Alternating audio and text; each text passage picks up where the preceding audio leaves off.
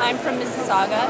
and come October, I, am going to be voting for the party that is going to protect our environment because our environment is our home. I'm interested in knowing what your stance is on protecting the Greenbelt and your stance on phasing out coal